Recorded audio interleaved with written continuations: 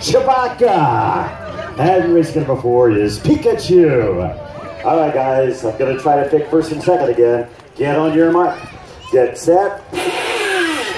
Uh, it's going to be one, and two are going to the finals. Give them a big hand. It's time for a final.